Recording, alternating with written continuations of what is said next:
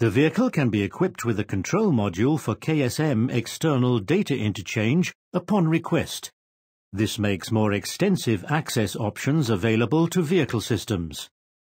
In addition, other limiting functions for vehicle speed and engine speed are made possible. To monitor and evaluate certain operating statuses, the Vehicle Body Control Unit can access various different signal outputs.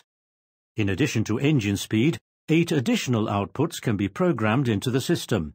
If necessary, these can be assigned to all the signals stored for the vehicle CAN. For example, transmission in neutral or parking brake applied.